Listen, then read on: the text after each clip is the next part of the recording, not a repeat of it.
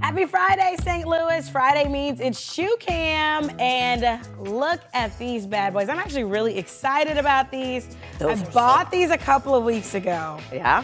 And I didn't buy them. I was like, I don't have anything in my closet to wear with them. I'm not a. They go with everything. What are you talking They talking do. about? But then when I got home, I was like, I got $100 off of them. No way.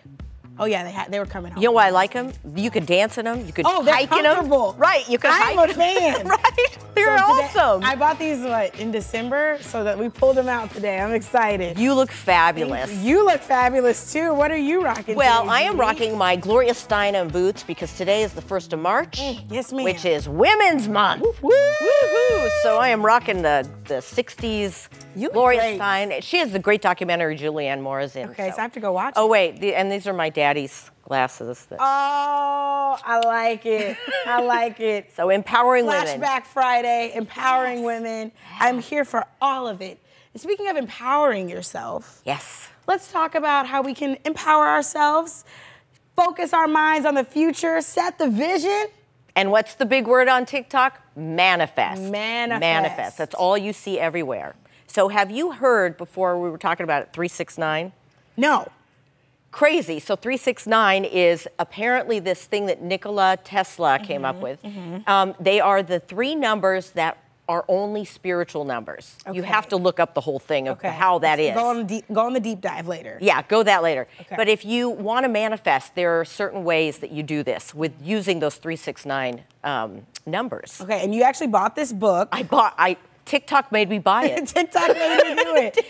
And it's basically saying you write down three manifestations in the morning, Mm-hmm. six in the afternoon, and nine in the evening. yes.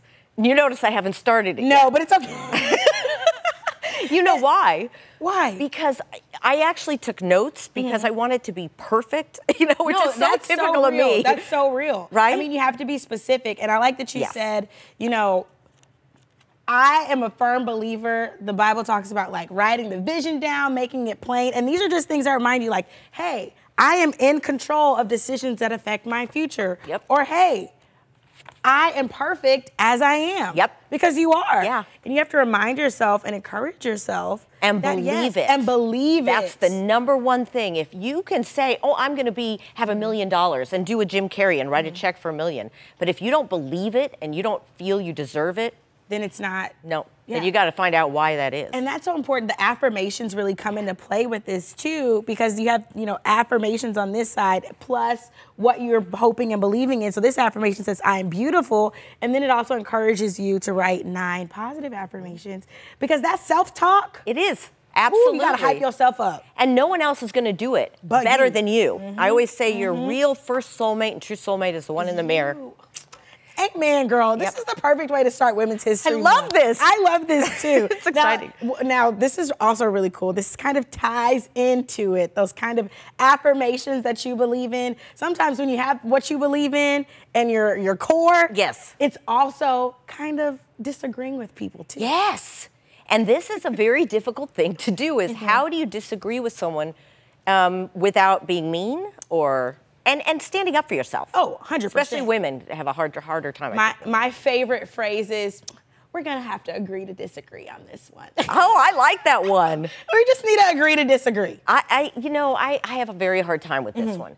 So I tend to do something more along the lines of, um, I see what you're saying. Um, let me think about this. I, um, not sure if I totally agree. There we go. You okay, know? it's kind of it's you know. But isn't that passive aggressive or no? It can be. It depends on how you look at it. You're just Yeah. sugarcoating it. Yeah, yeah. some people like it straight no chaser, and some like it sweet, and that's okay. I need to learn straight no chaser. well, it depends on the situation. I'm a little feisty, you are. I need some of that. but sometimes I do like to sugarcoat things. So just another few ways to say that you know I I don't agree with you instead of actually pretending that you do agree with someone. I hear you. I have a different opinion.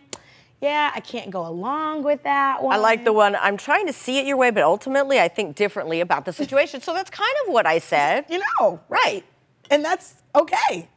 It's Yeah. okay to disagree. Absolutely. You just agree to disagree. right.